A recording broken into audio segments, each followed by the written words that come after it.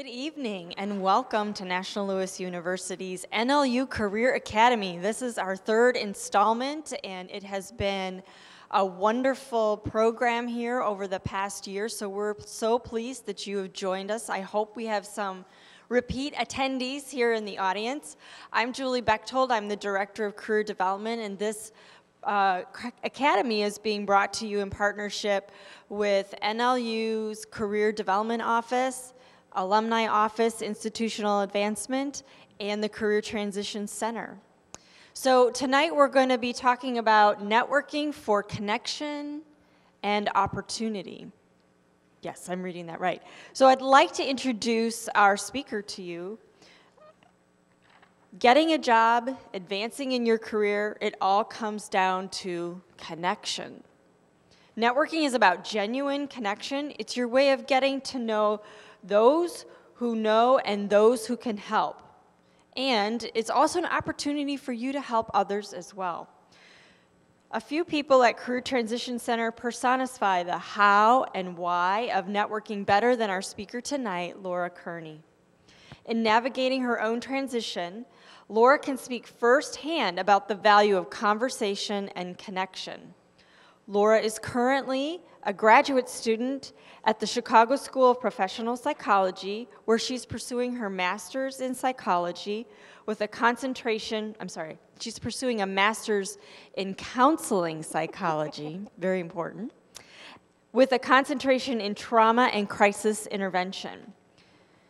She is orchestrating her own career metamorphosis, having had a successful career in sales, calling on architects in Chicago and the West Coast. Again, she'll speak from her own experience tonight, transitioning her career one conversation, one relationship at a time. Please welcome Laura Kearney.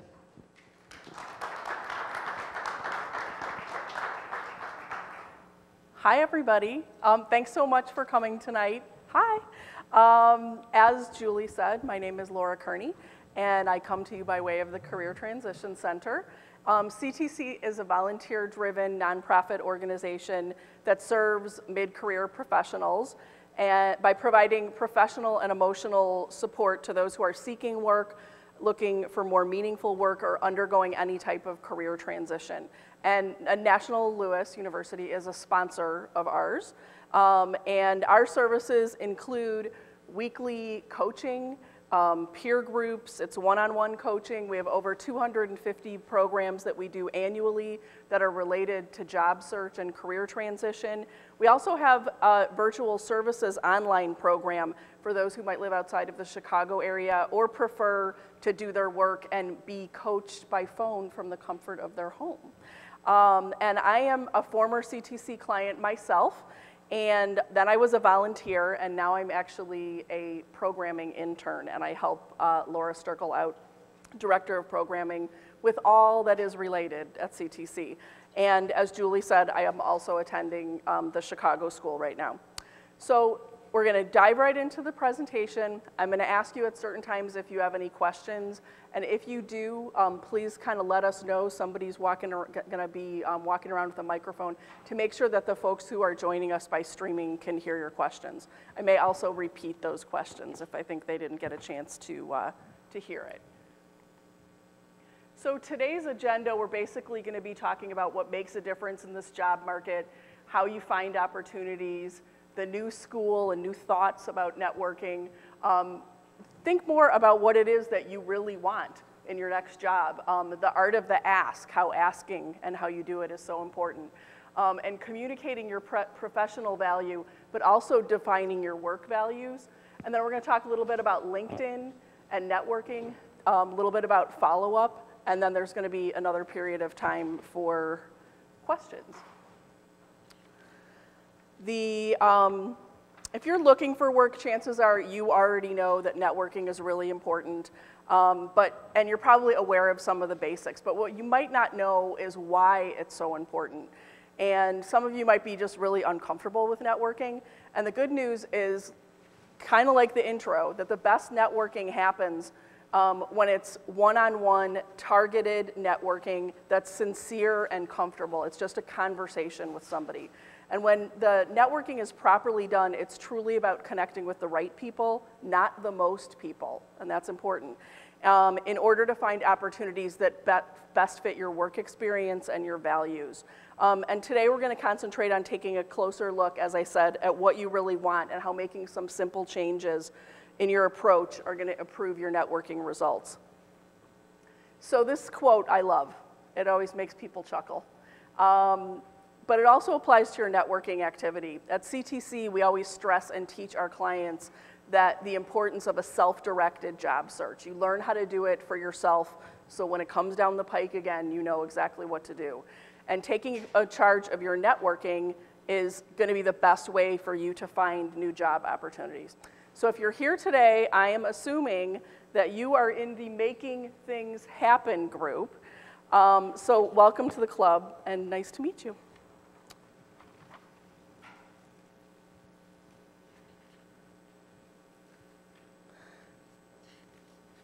So I will tell you that I lovingly crafted this new presentation for you. So I apologize about the notes. I usually hate notes, but I need them as a little bit of a crutch tonight.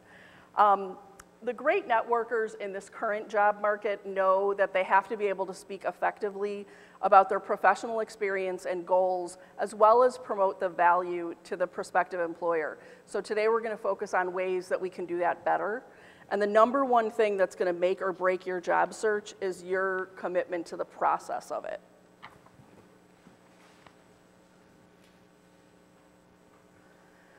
Job search has changed, as you can see up here, pretty dramatically in the last five years. And what used to work well just doesn't cut it anymore. Um, applying to jobs online used to be the thing that worked. Now it doesn't work so well. Um, online networking, as you can see, was non-existent or considered to be minimally effective, and only about half of the people found their jobs through networking. But today, the number of people who are finding their jobs through networking is actually estimated to be as high as 90%.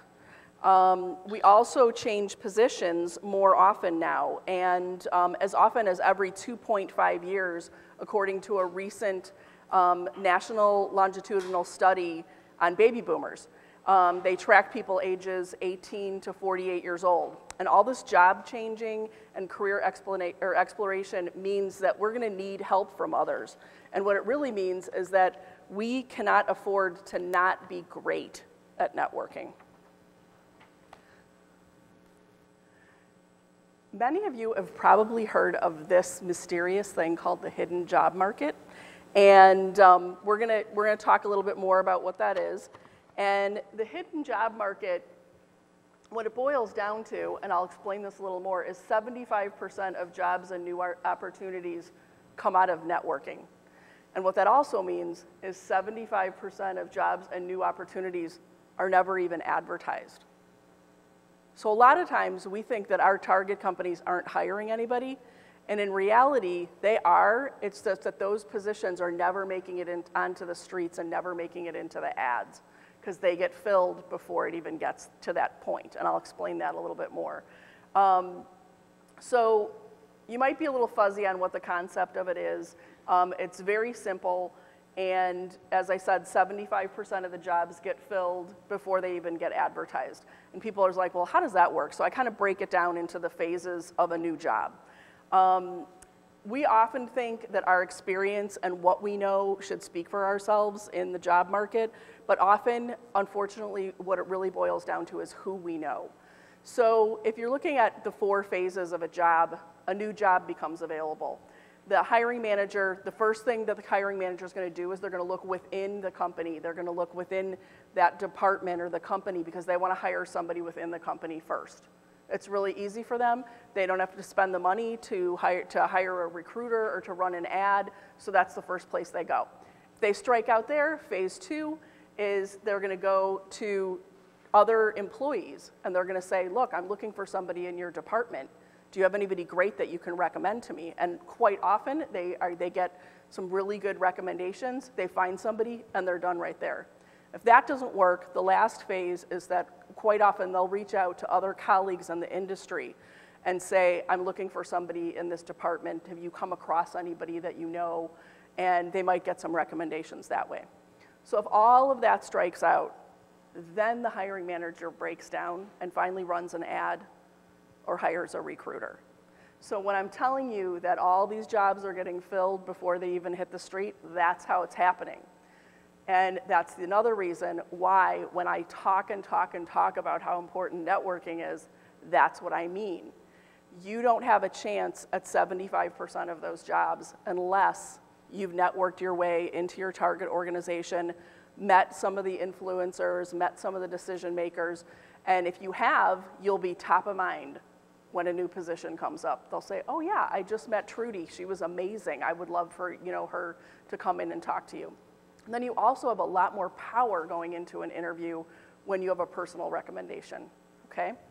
Um, so unfortunately, there's also another thing that happens that I think all of us may have experienced. You get all excited because you finally see an ad and then you follow up on it and they tell you it's filled. Well, some companies, that's a requirement that they actually have to advertise the job, and sometimes they do it after they've already hired somebody. It's frustrating but true. So um, if a job makes it to phase four and your resume makes it through that crazy applicant tracking system you've spent your whole life working on the keywords for, um, you, um, with, if you get to have that interview, you're in a position where, yes, you got through and you got to the interview, but without, again, those contacts and those ins at that target organization, you're really not in a better position than anybody else that made it into phase four with you, if you get my meaning. Um, so I'm not saying that you can't find a job the old-fashioned way. Um, sometimes people say lightning strikes. Um, but getting your odds, the odds of getting the job without networking are pretty low. So to find opportunities, you need to work your way into the hidden job market, make connections, and build relationships in the places that you want. And this is just, again, really right here on the right side, talking about how important building those relationships are. So we're going to talk about old school networking and new school networking yes, yeah, uh, next. And um, take a look at your, this is the average person's network or kind of the way they think about it, okay? So, you're, so you find out that you're going to start looking for a new job or you got laid off from your position, and usually people go right there to the inner circle and to their friends, those two and they think all the people I know the best, I'm going to go to them first, and they're going to they're going to really want to help me because I know them the best. Okay? Well, the interesting thing is that they know a lot of the same people that you know, and they might be in the same industry, so they hear all the same stuff that you do. So in reality, this core that you think is so strong for you might not be the strongest place. Um, the, when you go to, you know, go to that core first, might get some leads, might not. So then you start branching out into allies and colleagues, and maybe you branch out to acquaintances. And, um, but a lot of people are, you know, hesitant to go beyond this inner circle and the friends. Um, they, they, don't, they might be uncomfortable reaching out to the, the um, professional allies or colleagues that they have that they know less. And, um, and then by the time they start thinking about acquaintances, they go, oh, those people really can't do anything for me. That, what, you know, I barely know them, so I'm not going to bother with them. Um, these are people in acquaintances that maybe you've lost touch with over time, or you barely know them, you met them through somebody else and you never followed up, and now you feel uncomfortable about it.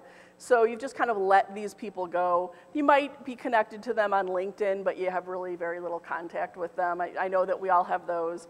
Um, so this group often gets ignored as a source of support. So this is the new school. This is sort of the new way of looking at it.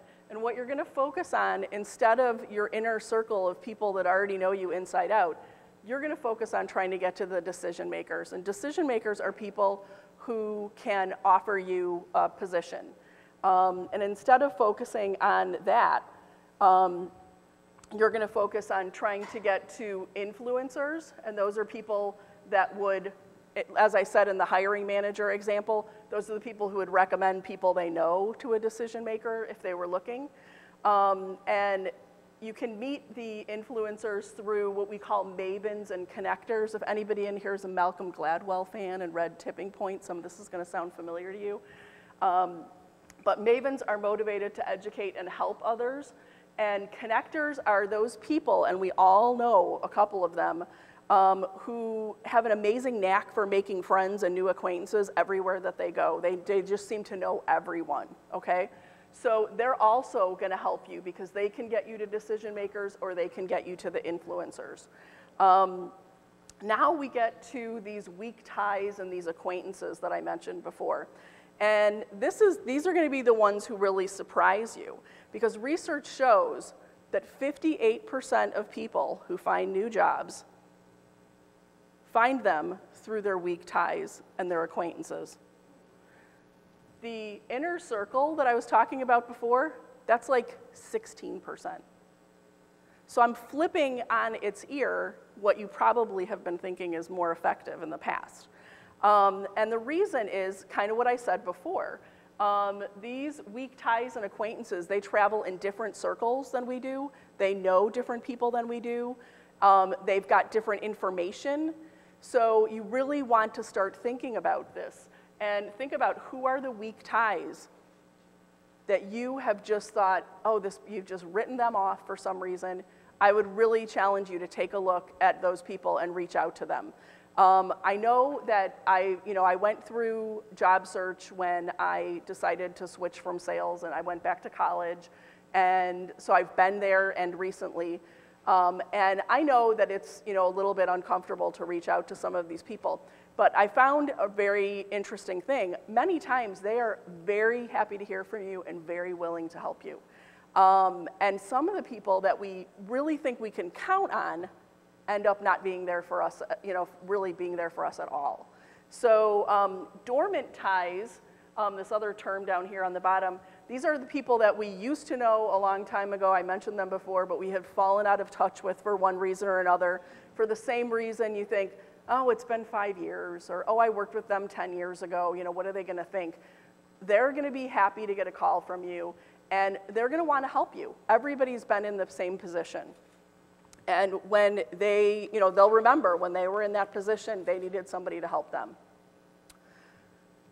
So, does anybody have any questions right about now? No? Okay. So, one of the other things that's really important in uh, your job search is to sort of separate your anybody's from your somebody's, okay? And what I'm talking about there is a lot of times people say, hey, um, who's, who should be in my network, Laura? Who's supposed to be in my network? That's like a very popular question that everybody wants to know. Um, and one of the things that we talk about at CTC is that people get really hung up on how many people they have on Facebook and how many connections they have on LinkedIn. Um, but in reality, if these are not strong relationships with people that you can call to help you and they will be you know, willing to drop what they're doing and help you, then this whole numbers game in our head is really an illusion, yeah? Um, so it doesn't matter how many contacts we have. Um, we call them shallow contacts. If they're people that you, you, you'd say, I, you know, I wouldn't even reach out to that person actually. Like, I'm really not sure why I'm connected to them professionally. And, um, and so those are the people that you want to kind of rethink that situation. And what I also recommend is once a year kind of reviewing who's in your network. Go through your LinkedIn connections, see who's in there. Think about who have I had any contact with over the last year? Would I feel comfortable reaching out? And the other thing is, would I feel comfortable helping them if they asked me? Yes.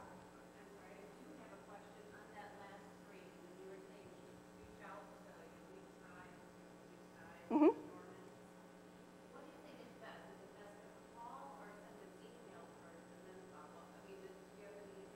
I am a huge fan, and I talk about this later, of email because making email requests, you have exactly what you want in writing. I talk about how to actually ask later for the help, um, but you can also uh, put a link to your LinkedIn. Um, you should do that anyway. You should have a link, a link to your LinkedIn account in your signature um, on your smartphone and on your email. And, um, but then you can also attach a resume because a lot of times people say, oh, he knows what I do. I, I, don't, I don't need to go into what my strengths or experience are because she knows what I do.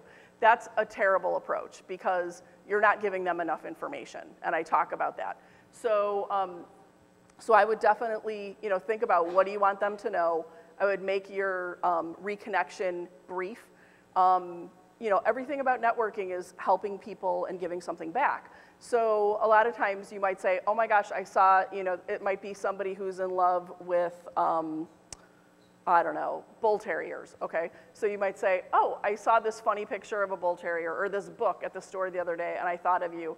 Or it might be a news story, or a lot of times there are books related to business or um, networking that I read, and I'll just put like a little link directly to the page in Amazon and say, this is great, this is a great book and this is why I thought you would like it, that type of thing. So it's kind of like a soft kind of way to reconnect with people that I like.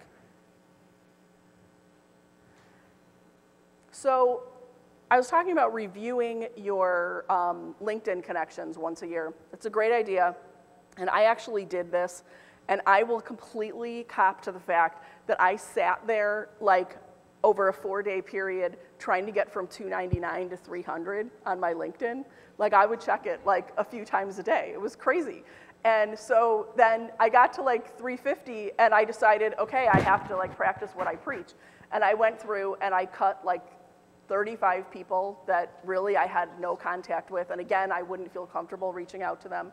And then I did it again, okay? So watching those numbers go down was seriously uncomfortable. Um, it was funny, but I feel like what I'm doing is I'm, I'm you know, taking out the weaker contacts and then I'm, I'm being very deliberate about who I am adding as new contacts. So I'm actually building a stronger network. Um, and with people that are more invested in my success, and you know, and I in theirs. So I just think it's a much better approach. So, as if I paid you money, look at what slide we're at. Asking, okay?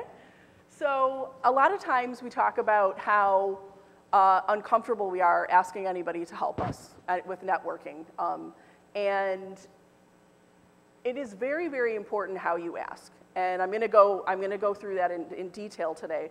Um, but how we reach out greatly affects the responses that we get or don't get. Um, so how you ask for help directly impacts the type of responses um, and also the, um, I would say, the time it takes to respond. And asking really broad and vague requests for assistance don't work. You don't want to ever ask anybody for a job. You're always just like, I always say, hey, I'm information gathering.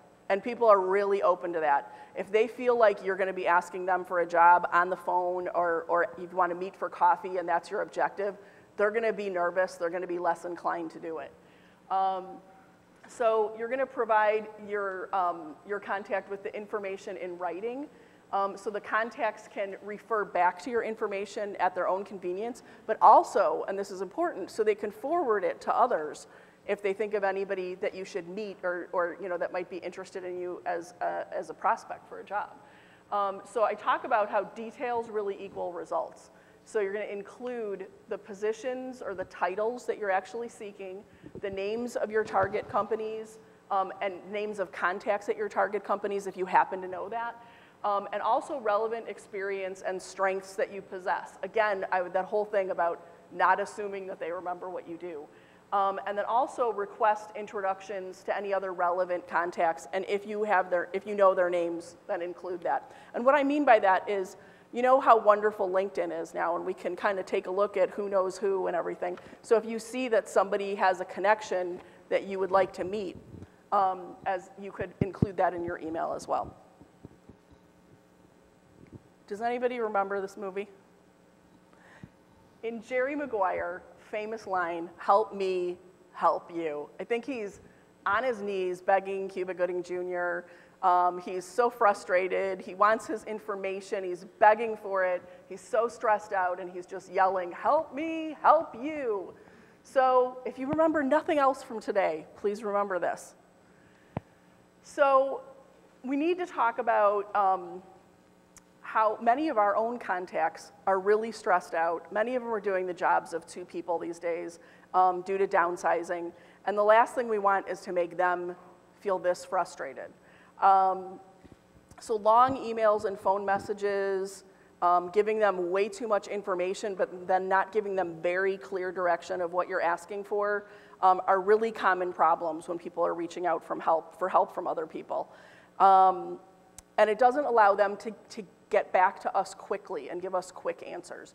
So oftentimes it's not that they don't want to help us, it's that they open this long email from somebody and they go, oh my gosh, like I cannot deal with this right now, and they save it. Maybe they put a little star next to it if you're lucky. But, um, but we don't want that to happen, okay? And we also need to realize that we're probably operating on different clocks right now. What seems super urgent to us because of the position that we're in does not that doesn't occur to them that you know we're probably sitting there staring at the phone like a teenager um, and that we were like please call please call you know? So um, so we have to just realize that and not take it personally. I get people asking me about this at ctc all the time like somebody you know i called somebody two days ago and they haven't called me back. And you know my advice is always give it a week. Um, like i said before follow it up with something that might be helpful to them to kind of you know reconnect and, um, and just saying, you know, I'm following up, I know you're busy, you know, would there be a time to talk, that type of thing. And again, you know, include the, the good information. So any questions about this section? Okay. So um, I talked about this before. You know, you're gonna you're gonna want to kind of reiterate your um, professional background, your strengths and your accomplishments as they pertain to what you're inquiring about. If it's a specific job, um, or if it's a, a target company. Um, you're going to provide the information that's relevant to the request. Less is more, and I'll talk about that in a minute. Um, you're going to make it easier for the people that you want to help you to help you. And you're going to utilize your contacts really well, respect their time, and always employ good social etiquette. So I have a story about this. A lot of times people will say to me, Laura, why would I want to why would I want to take a contact out of LinkedIn that I don't have much to do with? Like, what's it hurt? Well, I've had a few instances where somebody has, without asking me, used my name for a job they were interviewing before. And one time it was somebody that was on a board of a company that I volunteered at that I met once. So in that instance, she actually hurt herself because the person must have been saying, why are you using her name? You know? So there are ways that, that the connections can be kind of abused or misused. And that's why I'm saying that you should be real careful about um, who, you, you know, who you network with and who's in your, um, your connections for LinkedIn. Um, and then one thing that's really important, and I mentioned this before, is to always include um, the people that have helped you get to this contact. So if somebody said, I recommend that you try and have an informational interview with Joe Smith, and then Joe Smith says yes, then you go back to that person and you say, oh my gosh, I got the meeting with Joe Smith. Thank you so much for letting me use your name. After you meet with Joe Smith, you go back to that person and you say, what happened in my meeting with Joe Smith, and you thank them again. It's a lot of work, but this is, these are the people that are willing to help you in the first place. They will keep helping you as long as they realize that you're taking their advice and that you appreciate it, okay? So this is uh, an article that I just read the other day, and uh, I loved it. And this gentleman was giving advice on how to get a busy person to respond to your email. So let's face it, you really can't connect or find opportunity if your contacts aren't returning your emails. Um, and so he's got these five little hints here. And he talks about keeping the email short, um, he talks about keeping it to two or three sentences. It's much easier to read right then. A longer paragraph or two, as I said, people will often put off reading, and then it's going to take you a lot longer to get a response. And then he talks about formatting it for readability. I would suggest that you write, write down the name of this article. You know what, you don't need to. I actually added it to the resources list at the end, so you don't need to. But what he does is he takes emails that he's received, and he does email makeovers to them in a way that he says, like, I wouldn't respond to this, but I would, and here's why. So he does what I call email makeovers, and they're very fascinating. So I highly recommend that you take a look at that. And so formatting for readability is a big one with him. Um, it's easier to read the emails that are broken down into like one or two sentences per paragraph instead of having a whole long paragraph. Um, make it very clear what you want them to do. And he talks about um, how people are constantly sending him all this information, but then they never tell him exactly what they wanted him to do. And um, again, that's about helping them help you. Also, be reasonable with your request. He says a lot of times he gets emails where somebody dashes it off in 30 seconds, but it would take him hours to actually do what they want him to do. So he talks about being respectful of that. He says, um, actually, and I'm guilty of this myself, like, oh, hi, it's Laura. I just want to pick your brain about something. He says that's the biggest offense of all because it shows that by that you're not focused enough. You're not ready to have that conversation with the person, that you need to be much more prepared and narrow down what it is that you want to talk about. And then also, he says, Show me why I should take the time to help you. And what he's talking about here is just that time is at a premium, as we talked about before, and people will prioritize who they help. Um, especially if they don't know you, they're going to research you. So he talks about this is another way why your LinkedIn profile is so important because if somebody doesn't know who you are, you're reaching out to them, even if you were recommended by somebody they know, first thing they're going to do is Google you. And if you're on LinkedIn, that's going to be one of the first thing that comes up. They're going to dink, and then they're going to go, oh, there you are. Hopefully they're going to see your picture because you should have a picture. And then they're going to start reading about you. So again, I get people asking me questions like, oh, why does my, my LinkedIn you know, profile doesn't matter that much? Like when they meet me, they'll know. Well, sometimes you don't get to meet the person if the LinkedIn profile isn't intriguing or strong enough. Any questions? No, you guys are just writing, writing, writing. Good for you. So, discovery, planning, and action are the phases that all job searches and career management go through. And the same thing basically applies to networking. In discovery, you're going to start seeking out new networking opportunities and industry organizations. You're going to practice your value statement with your peers that might be out of work as well, or with your career coach if you're doing any coaching. In planning, you're going to start defining who is in your network, and as I said, who should be in your network and who shouldn't be, maybe. Um, preparing a list of those that you're going to reach out to, and you're going to start doing informational interviewers, interviews, excuse me, and try to meet with those influencers and mavens and connectors that I talked about before who can get you to the decision makers at your target companies. And then in the action phase, you're going to attend relevant networking and industry events with a very solid message of what you do and what it is that you want.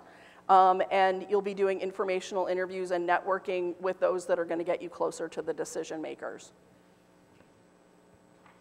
So now we have a little exercise for you. And if you're looking to change fields like I was before, or even if you just want to shift your professional responsibilities to something that focuses more on your professional strengths, you're going to need to identify your work values and your priorities. So this, is the, this should be the first page in your handout. So you need to know this information to keep yourself on track to meet your career goals, um, but also to effectively communicate the information when you're networking or conducting informational interviews. So take a look at these work values um, and write down the ones that are most important to you.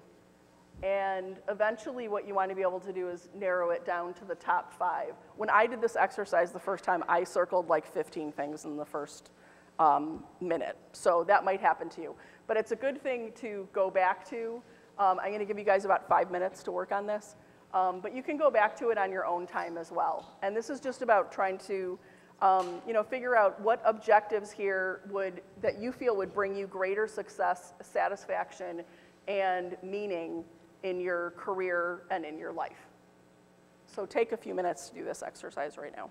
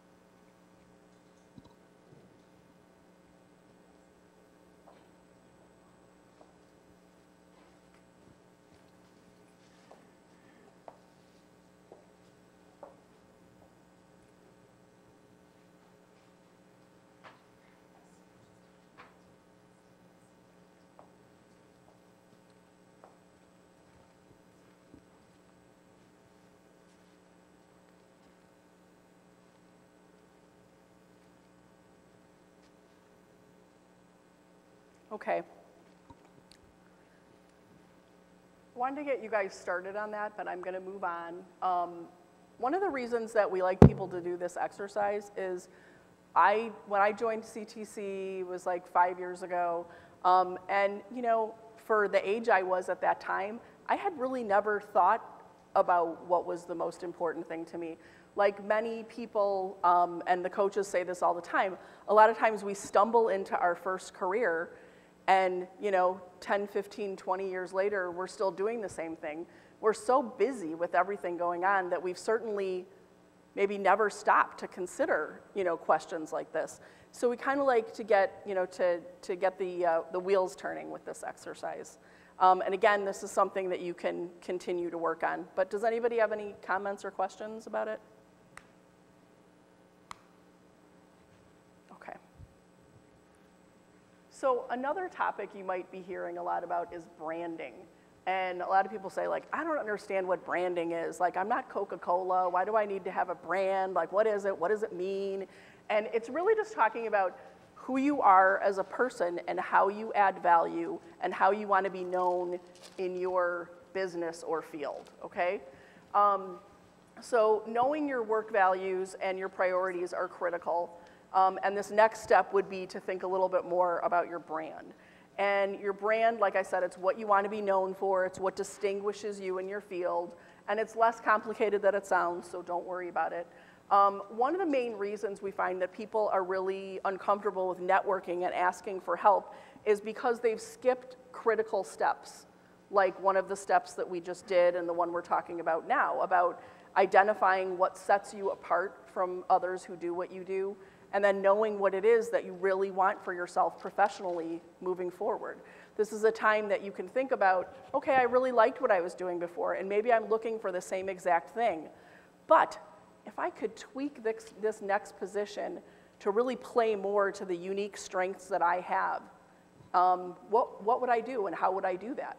Um, so, what might I change a little bit? If you were like me, you were changing everything and going back to school, um, and, and you really had to sit down and think about what it, uh, what it is that you want.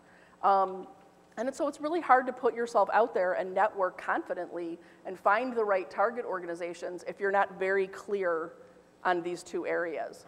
So over here on the right, you can't really distinguish yourself if you don't know what distinguishes you in the first place. I mean, it makes sense. Um, you're not really pitching yourself, it's just about how you professionally add value. Um, and it's conscious, consistent behavior, and this is where you can think of the big brands like Nike or Coca Cola, but they've thought about who they are and who they want to be, and every message that they put out there takes people back to that. And you can do that with yourself and your work as well. Um, and also, it's again, it's this articulation in the same way that's indelible and repeatable over and over. And also, I kind of think that there's like a little formula that you could use for what is your distinction. And it's a combination of, you know, what you enjoy doing, what's made you successful, plus your strengths, plus how you have served organizations and individuals. So I have another exercise number two for you.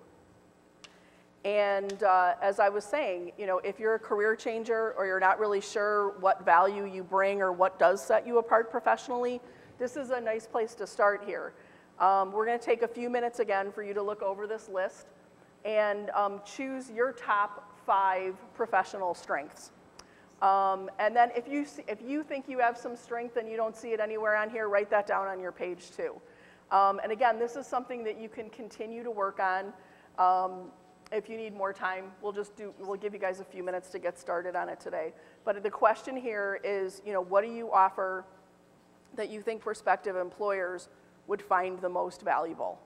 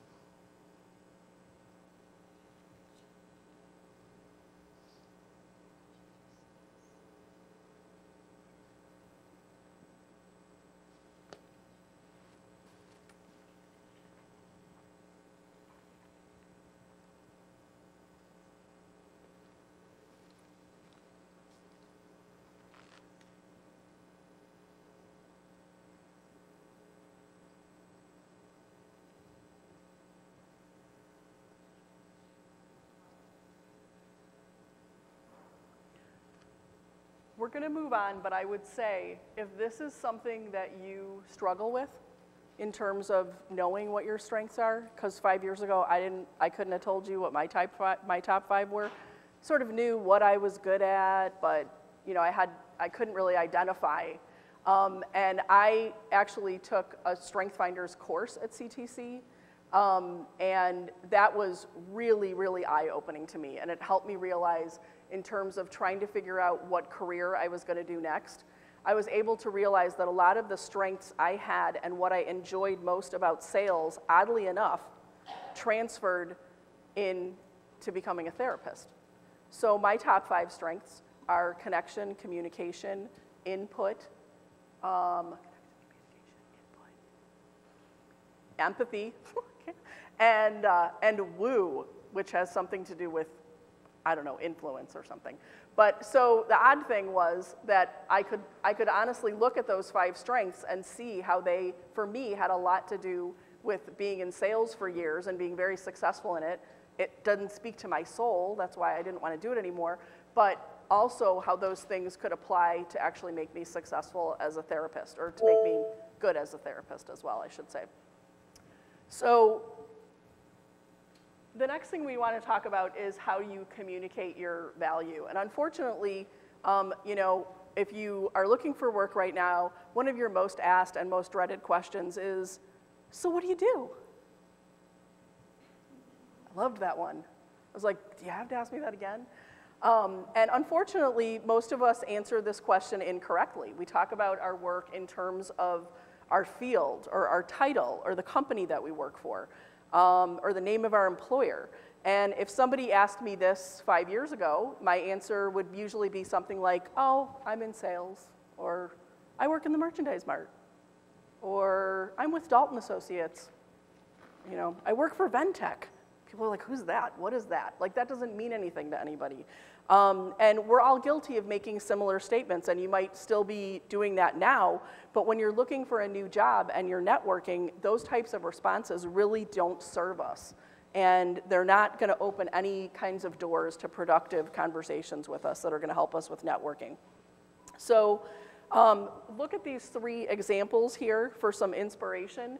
And um, this person saying, you know, we've got kind of a formula up here I help who to do what by how you do it. So this person that's a senior financial operations manager saying I help organizations optimize financial operations and processes for cost savings and greater efficiency. I would probably even break that down into something more basic because that kind of goes like this on me. Um, but, but it's a start. Um, example two, I attract and advance the best, most profitable, and most enduring client relationships. Okay, I was in sales before, so I'm kind of like, how does that guy do that? What does he mean? So I'd probably be a little intrigued by that. Um, number three, I help organizations and individ- individuals realize their potential. That's a pretty great, that's a pretty intriguing comment right there. And that's an executive coach. So I talk about doing what do you do better, okay? And this is one way that you can do it. It's not your title or your position, or what, but what you actually do concerns the problems that you've solved for your employers in the past, what distinguishes you professionally, um, what it is that you are passionate about in your work, and then also the value that you add to the organizations that you work for or have worked for. So when you provide this more engaging answer, it's going to open the door to more meaningful connections and exchanges with people.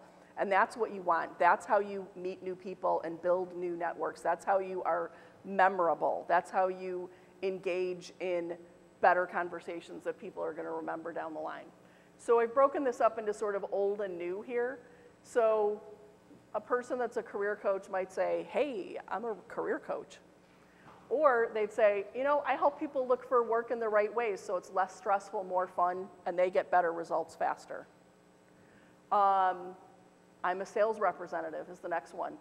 I attract and grow loyal client relationships. Um, I'm an event planner.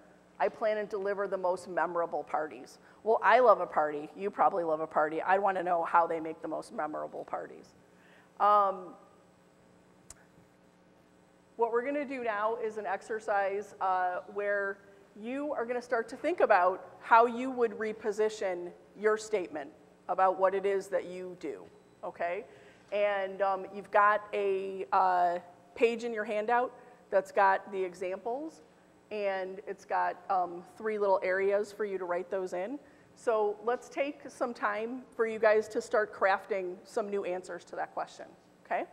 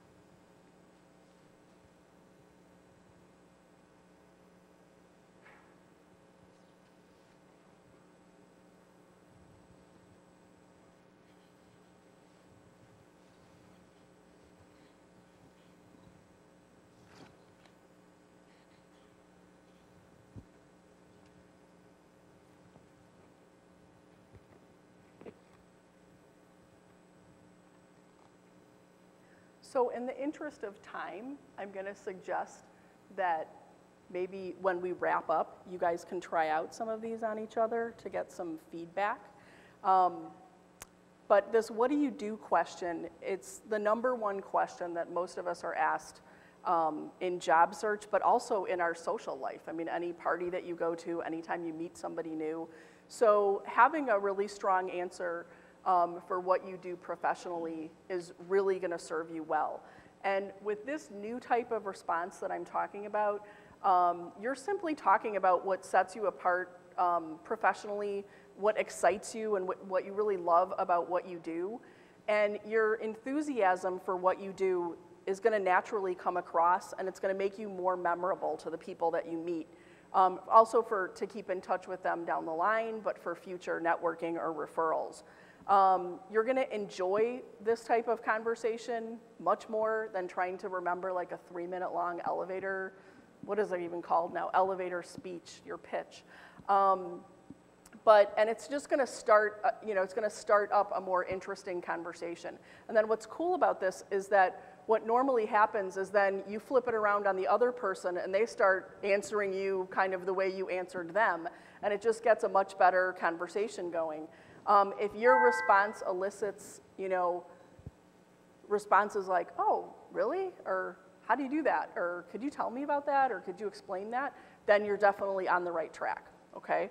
Um, and the beauty of this approach, like I said, is that once we start talking in this manner, um, the conversation will flip around to the other person in the same manner as well. And don't drop the ball here.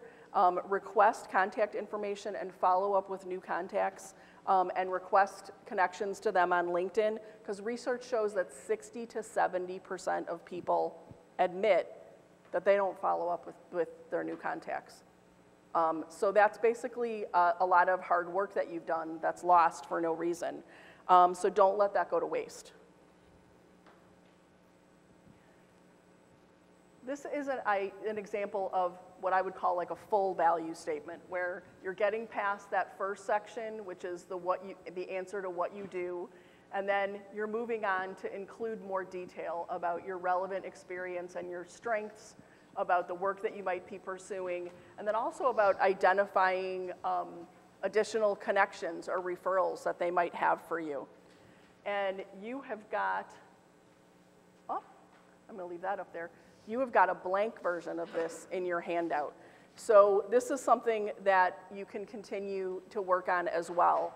And I would say when you, when you get the what do you do answer that you're happy with, plug that in the top spot and then work out what you would say for the other ones. And this is, again, a great thing um, to work on with a friend that's you know, willing to hear you out and give you some feedback. It might be another um, job search buddy that you have or a career coach could help you with this as well.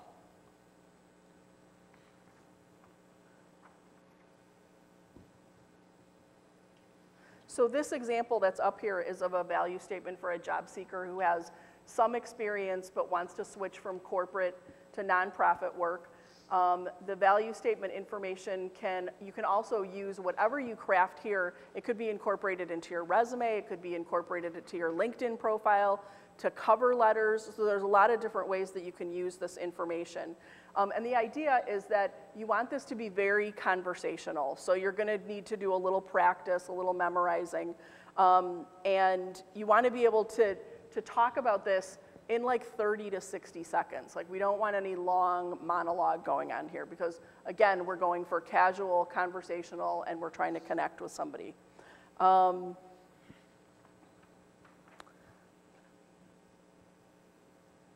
your initial contact, your emails, your phone calls, your conversations and networking, the informational interviews and the job interviews, the thank you notes and the follow up, all of this should ideally fit together kind of like a puzzle that promotes you exactly the way you want to be promoted, going back to that idea of branding. And networking is an ongoing process. A lot of times people um, get into job search, they've lost their job or they're changing careers, and they say, oh, I wish I had this, I wish I'd built up this big network. And then they really, really concentrate on their network during their job search, but then as soon as they get a job, they completely ignore their network. And so what I'm saying to you is that this is kind of a before, during, and after situation. This is something that you need to constantly um, be working on, staying in touch with people. It doesn't take a lot of work.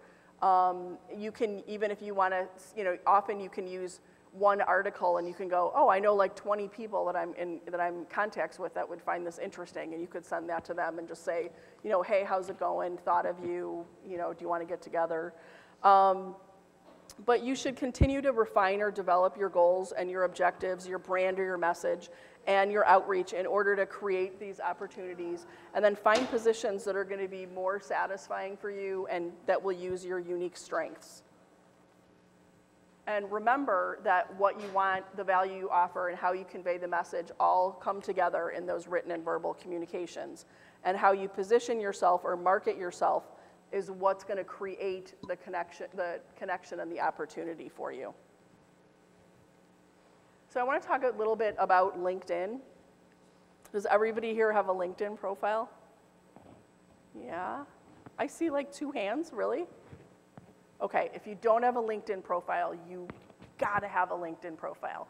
And if you're intimidated by it and you don't know how to get started, LinkedIn has tutorials about how to get your profile up and running. And they have tutorials on YouTube too. It's very, very easy.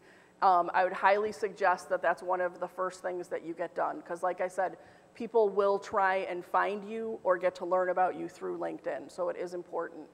Um, in term, it's the number one uh, resource for positioning and marketing yourself. Uh, hiring managers and recruiters use LinkedIn as their number one source for finding candidates. So that's why I always say LinkedIn is a must. You know, they used to have these big files of everybody that they knew, and recruiters would call and say, I'm looking for a candidate for this. They don't do any of that anymore. They go straight to LinkedIn and they search by search terms and keywords, and that's how they find people. Um, and you want to be sure to do some simple things like add your email address and your cell phone to your number to your LinkedIn profile. And then these tips up here, and I mentioned this before, um, in your Gmail account, um, on your laptop and in your smartphone, always put your phone number and your direct LinkedIn link, I mean, direct link to your LinkedIn profile. Um, and then anytime that you're sending anything out or receiving anything, people have access to that information and they can, they can see what's going on with you. If they want to call you instead of looking at your email, then it's easy because your phone number's right there. So that's, that's one thing I would recommend that everybody does for sure. Um, also complete your LinkedIn profile 100%. Most people don't do this, but it's important because you have higher vis visibility. A lot of people don't want to put a photo in, but a lot of times people people will open a LinkedIn profile like a recruiter, and if it doesn't have a picture, a lot of times they'll leave the profile. So it's just odd LinkedIn behavior, but I'm telling you that you should have a photo up there because it could hurt your chances. Um, and then try to think of who you could get recommendations for for your LinkedIn profile if you haven't done that already because they carry a lot of weight. And don't forget to include your volunteer work. About 40% of hiring managers admit to being influenced by a candidate's volunteer work and using it as part of their hiring decision. A lot of times we think that doesn't matter, but it does matter because it speaks to your character and your interests outside work, and future employers want to know that. Um, and then also get other people that you know that aren't on LinkedIn uh, to get on LinkedIn. And once you're a pro, you can help everybody do it. Um, but if you have a profile and you want to learn more about LinkedIn, um, CTC coach Howard Fox does two monthly LinkedIn webinars that are at a very, very low cost. They're on Tuesday nights, I believe. And the topics um, are about building your brand on LinkedIn, how to use and find it for find job openings on LinkedIn, um, how to research companies and find contacts, and then how to use groups and posts to establish yourself as a professional expert in the field on LinkedIn.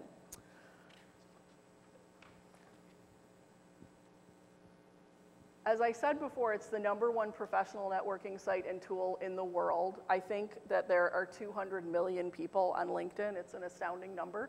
Um, and it expands your network with relevant new contacts. If you've never been on LinkedIn before and you join LinkedIn, they'll figure out who you know from the contacts that you do have and make suggestions of who else you should, you should connect with. So it's pretty easy. Um, and it's a simple and efficient way to keep connected with your network um, and you're keeping in front of everybody with the posts that you make and the updates to your profiles, things like that. Um, it enhances your visibility and your marketability. Um, and you can use LinkedIn company profiles to prepare for your interviews and your outreach, which is great. You can find out a lot about a company um, by looking at their page on LinkedIn. And it allows you to search for jobs all over the whole entire world, if any of you are thinking about relocating. And um, recommendations and endorsements, um, those features will reinforce your credibility, your brand, and your qualifications and skills. And it also helps you to find and reconnect with those past colleagues, supervisors, um, and alumni that I talked about before. Some of those weak acquaintances or, or weak ties, dormant ties that I talked about before. And it also, one of the, my favorite things about it is that it offers industry-specific insight, news, and articles by thought leaders in your field. So you can join, um, you can follow different people that you um, professionally admire or just to get news specifically about your industry. And that helps you too when you're networking because you can kind of talk about the latest things that you've been reading And, um, and it sends the information right to you. It's right there, so it couldn't be any easier.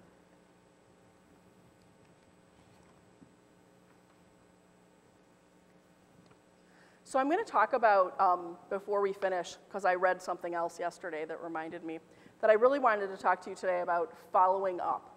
Um, I read this great article about, they called it Closing the Loop, and they said it was the secret to great networking.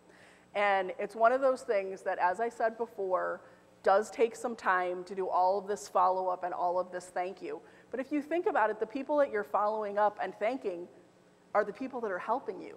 So you want to encourage them because you want them to know you appreciate it, but there may be more help and more leads and more contacts there. So those people that are taking the time to help you now, you want to make sure they know that you appreciate it.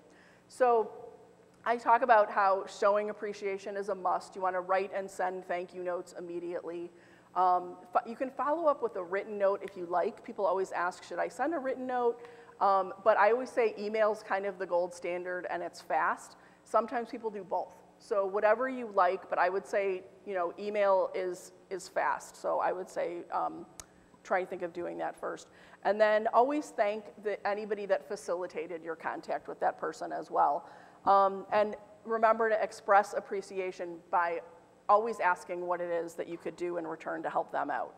Um, you want to stay in touch and reach out um, and periodically check in or meet with the key contacts in your list, kind of figure out who are my most important ones. I want to, you know, maybe follow up with them the most and then who can I, you know, maybe follow up with less, and send out brief updates on your job search. I led a job search accountability group at CTC for a year, and this worked out really well for some of my members. They, they just figured out a list of people that were kind of their key contacts, and they sent them individual emails, not a batch email, but it might be the same exact content, and all they do is change the, the to address.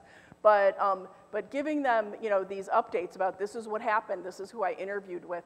Or the other thing that happens is a lot of times, if you were changing careers like I was, um, you started out thinking that you were looking for one thing, and then, uh, and then a month or two later, you may have switched your focus. And so the only way to let these people know is to update them. Um, they might still be looking for you for leads for you in something that you're not even interested in doing anymore. So you need to make sure that they know about any changes to your search, any new target companies that you've added that you're interested in, that sort of thing. And then you want to make sure that you're helping them out as well. Um, it's kind of easy to forget because when you're in job search, um, you know, you have your concerns. You might be feeling a little bit needy. You might be thinking, well, what can I do for them? But the fact of the matter is that you never know what you can do for them. They may have a charity and they might need somebody to help out at an event for one night, and you could do that as a way to pay them back. And guess what? You're going to meet a lot of other people at that event. So always ask them if there's something that, that you can help them out with. Um, and I like to introduce my connections to other connections I have that I think they should know. And that's another way that is a cost free way to help two people in your network. You might think, oh my gosh, you two people are so alike, or you two guys love golf, or you're both in uh, chemical sales, that type of thing. And you can make really beneficial introductions to people, and that costs you nothing, but they're really, really gonna appreciate it. And then I was talking about endorsements and recommendations before. So you're in a place right now where you want to be asking for them to put them on your LinkedIn account. Um, but you're also can be giving back, and again, at zero cost to you, by sending recommendations and giving people endorsements in your list. Another thing I like about the endorsement is um, that I also call that kind of another soft landing. So if there's somebody that you haven't talked to in your network for a while and they pop up on your screen and it says endorse so and so and it gives you some options, this is a really easy way to reconnect with somebody because you can look at what's up there and say, okay, what can I endorse them for? Endorse them, they'll get that endorsement probably within a day. And then after that, you could follow up with an email like, hey, you know, you just popped up on my screen. I sent you an endorsement. I'd love to get together for a cup of coffee. So it's kind of an easy way to reconnect with somebody. Um, and then, let's see, about shaping about your brand. Just think about how you engage with those that you know and your LinkedIn network. um, and stay really relevant and purposeful in those communications. And you know, post industry related articles on LinkedIn. That also establishes you as somebody that's kind of like in the know, following the trends as an expert as well. And then also consider writing or speaking opportunities because that helps to establish you as a thought leader in your industry as well. And then after you land your new job, um, send a broadcast email to your whole network sharing your good news, and then individual emails or notes to anybody who helped you in particular. And make sure everybody gets your new work email and your new work phone number. Um, if you had to change your cell phone, that type of thing, let them know. Um, and give credit to those who helped you. You know, thank you for the role that you played in my transition. Be sure to let me know how I can be a resource for you. Um, people love to hear that. And update your LinkedIn profile with your notifications on so everybody knows that you got your new job. Um, and just keep building what you've started. That's the most important thing about all of this. Um, stay in touch with your network so it's there and it's even stronger the next time that you need it. The idea with building this network is not to build it only when you need it. It's to feed it and build it as you grow because it's going to be the source that helps you get your positions for the rest of your life. Um, and at this point, when you're in your new job, it's your turn to start helping other people now. Okay? So this concludes Networking for Connection and Opportunity. So thank you very much for joining us tonight. Um, I especially want to thank uh, National Louis University and for their continued support of CTC. And I hope the ideas that we shared tonight will kind of shift maybe the way you've been thinking about networking, energize your approach a little bit, um, improve your outreach communications, lead to some you know, authentic connections, and also increase your ability to target into those, uh, or to network into those target organizations. Um, and then you also have a resources handout, but I think we're a little bit over time, so I'm not going to go through that. But what I tried to do was include um, links to a lot of the content that I talked about today. So if you want to learn more about those weak ties, there's a video associated with the what do you do question, that type of thing. You're going to find a lot of that on the resources page. Okay? So thank you very much.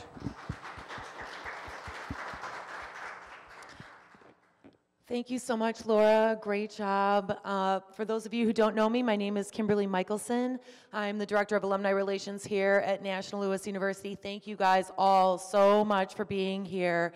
Um, I hope you found tonight's session very informative and helpful. And uh, as you can see on the center of your table, we have another one in May that is going to be a panel of National Louis University alumni speakers assembled so you can hear it from the pros. These are folks who have graduated from National Louis University, just like many of you have or may be uh, getting ready to do. And so we want you guys to have the opportunity to network with some of your alumni peers.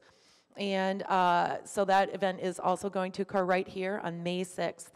If you have any questions about that program or anything else, you can contact me. My contact information is on our website, nl.edu. Go to the alumni tab, and you can see my name liberally all throughout Kimberly Michelson. You can email me, you can call me anytime. I love hearing from you, and I love being able to connect you to resources that are helpful. While you are on our alumni page, please make sure that if you are an alum of National, you update your contact information so you can start getting our email uh, newsletter, which occurs monthly, and our quarterly magazine, which we publish both in printed version and in e-reader. So you can have access to that no matter what. And please make sure you see the gentleman in the back with the striped tie. His name is Dan. He is here from our enrollment group. Perhaps tonight has inspired you to continue your education or seek some education here at National Louis University, and he's the man who can hook you up with those types of things. So one more time, let's give it up for Laura. Thank you so much.